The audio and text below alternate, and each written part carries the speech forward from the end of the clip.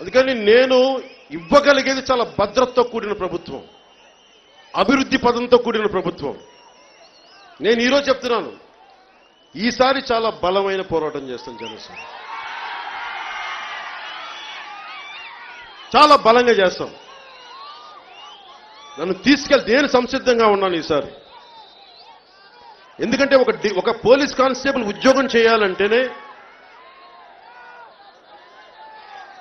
మీరు ఫిట్నెస్ టెస్టులు చేయాలి కదమ్మా మీరు కానిస్టేబుల్ ఉద్యోగం రావాలంటే? అవునా? ఒక ఎమ్మెల్యే అవ్వాలంటే ఏం చేయగలం డబ్బులుంటే చాలు.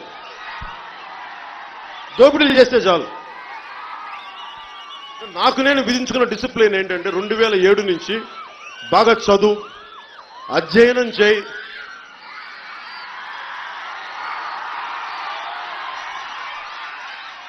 మీరు ఎందుకు నన్ను ఇలా పబ్లిక్గా ఏడిపిస్తున్నారు చెప్పండి? మీకు భావ్యమా ఇది సరదా నేను పిలిపించుకోండి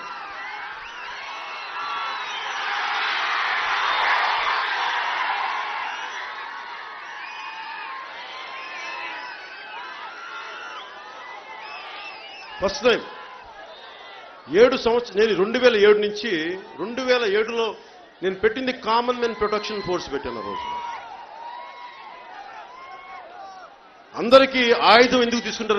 గన్ లైసెన్స్ ఎందుకు తీసుకుంటారు? ప్రాణ రక్షణకు తీసుకుంటారు.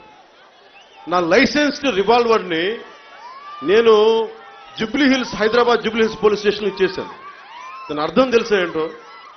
నా ప్రాణానికి రక్షణ అవసరం లేదు.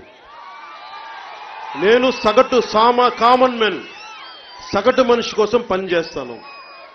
అది వదిలేను. ఆ రోజు నుంచి ఈ రోజు దాకా నా భావం కానీ నా ఆలోచన కానీ నా మాట కానీ ఎంతసేపు సామాన్యుడి చుట్టే తిరిగినవి తప్ప కులాలకి మతాలకి అతీతంగా?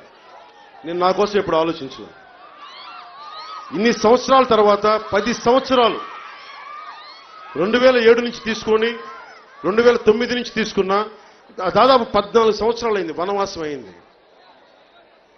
కురుక్షేత్రం చేద్దాం. రాజ్యాన్ని స్థాపిద్దాం. జనసేన ప్రభుత్వాన్ని స్థాపిద్దాం. జాయ్ హింద్.